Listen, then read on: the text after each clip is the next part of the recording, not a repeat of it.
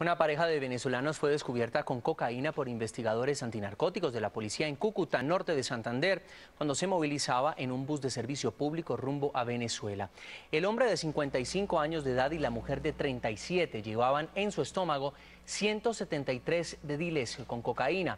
Según las autoridades, mostraron una actitud nerviosa, lo que sin duda los delató.